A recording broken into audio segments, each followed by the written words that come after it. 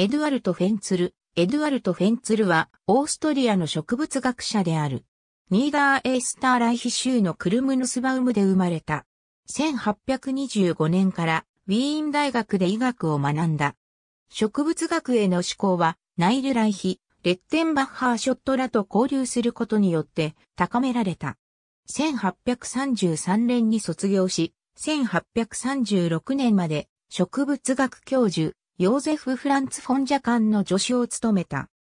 1840年から1878年まで、ウィーン自然史博物館の前身である、王室博物庫の学芸員を務め、1849年から1878年まで、ウィーン大学の植物学の教授、ウィーン大学植物園の園長を務めた。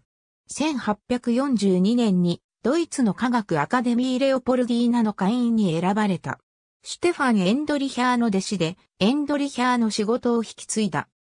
グレゴーリオ・ハン・メンデルがウィーン大学に留学し、教員試験に落第した時のウィーン大学の教授の一人で、あるが、メンデルの研究を再発見したエーリヒ・フォン・チェルマクは、フェンツルの孫にあたる。